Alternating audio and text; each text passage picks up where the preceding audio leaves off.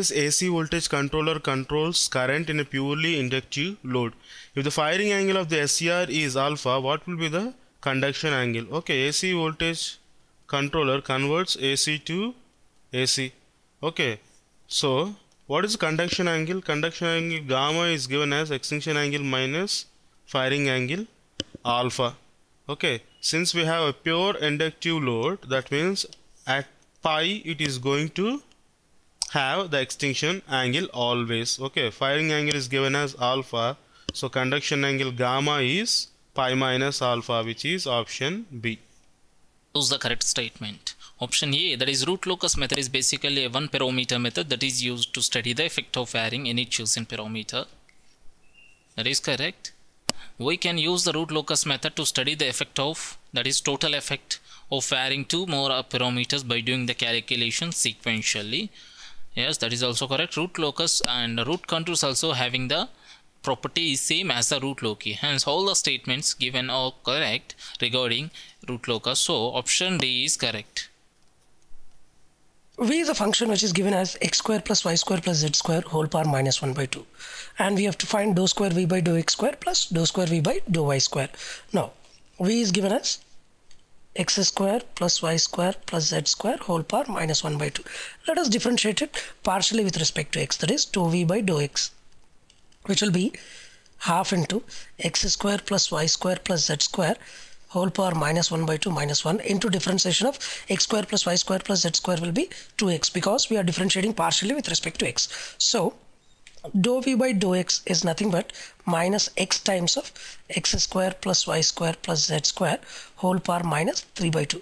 Now as we need dou square v by dou x square we'll differentiate it again. If we differentiate it again partially with respect, with respect to x this will be dou square v by dou x square.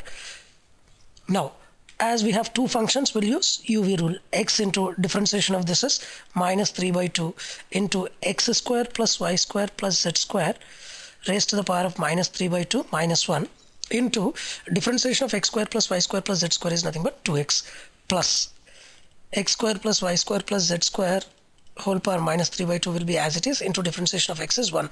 If we simplify dou square v by dou x square will be x square plus y square plus z square whole power minus 5 by 2 into 2x square minus y square minus z square. Let it be some equation 1.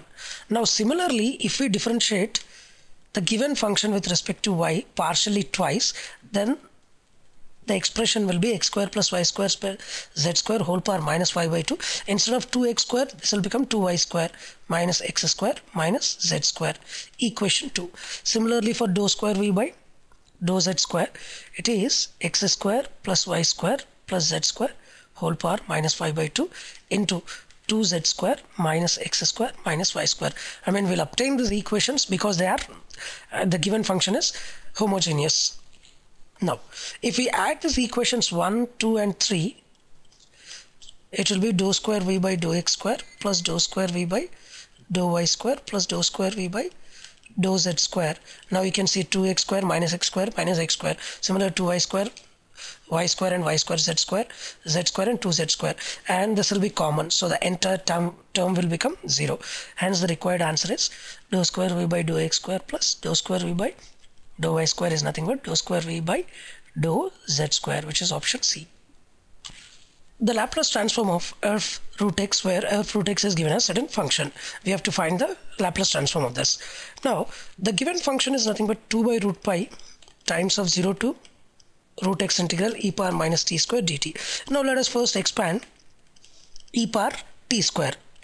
I mean exponential function. It will be 1 minus t square plus t power 4 by 2 factorial minus t power 6 by 3 factorial and so on into dt. Now let us differentiate them.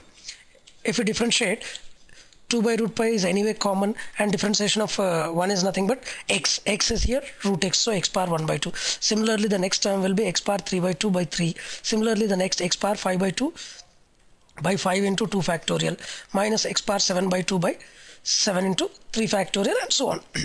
now if we apply Laplace transform to this applying Laplace transform to this to the above say sequence then it will be 2 by root pi times of rho 3 by 2 by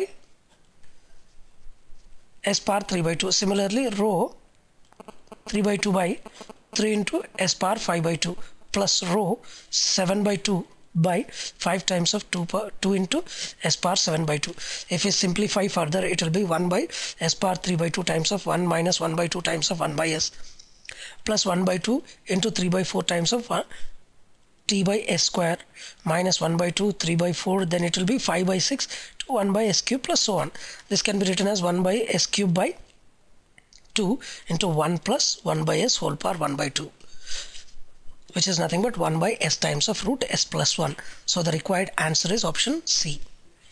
And got a fourth order method.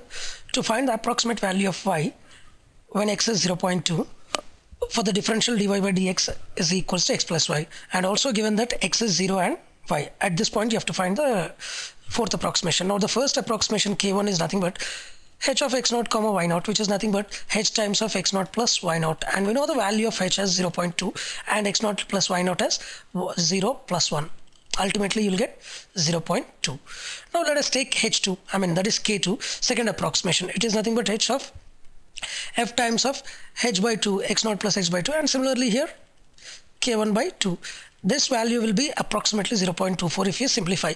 Then k is nothing but 1 by 6 times of k1 plus 2k2 plus 2 k3 plus k4 and this simplification will be 0.2428 and y is nothing but 1 plus of this k. K is nothing but 0.2428 approximately the answer is 1.2428 which is nothing but option a integrating factor of the given differential equation so that it which will make exact I mean the given differential equation exact. So it is in the form of m dx plus n dy where m is nothing but xy cube plus y and n is nothing but 2 times of x square y square plus x plus y power 4. Now let us check do m by do x, do m by do y and let us find do m by do y and do n by dou x. Now this dou m by dou y is nothing but 3xy square plus 1. Similarly, dou n by dou x is nothing but 2 times of 2xy plus 1. Now let us check dou n by dou x minus dou m by dou y which is nothing but 4xy plus 2 minus 3xy square minus 1 sorry this will be xy square so xy square so entirely it will be xy square plus 1 now just look into the given expression xy cube plus y. This can be written as xy square plus 1 times of y. So if i divide this expression by m that is 1 by m times of dou n by dou x minus dou m by dou y. That is nothing but xy square plus 1 by y times of xy square plus 1 which is nothing but function of y alone. So integrating factor is nothing but e power integral 1 by y dy which is e power log y and which is equals to y. So the required answer is option d. Function of the system is given as z of s that is it is given as a ratio of two polynomials the ratio of numerator polynomial and degree of that is the degree of numerator and denominator polynomials are differ by one. Hence the driving point impedance which is given in the question is nothing but an lc impedance lc function. So again if we draw a pole 0 plot this is pole 0 that is s square is plus or minus this this. Again 0 0 0 0 so the pole pole poles and zeros are going to be interlaced alternately on j omega axis. That is it is an lc impedance function. That is option b is correct. For the following NMOS circuit we have to find out the value of VDS here the data is given as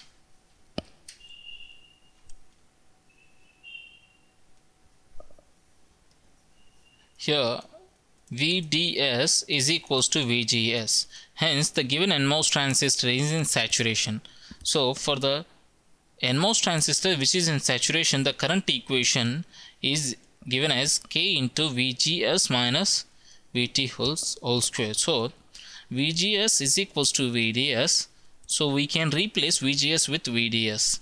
It is 10 power minus 4 0.5 into 10 power minus 3 VDS minus 1 whole square. That is 5 this this. So root 5 VDS minus 1. VDS is equals to 1 plus root 5 which is equals to 3.24 volts that is option C is correct.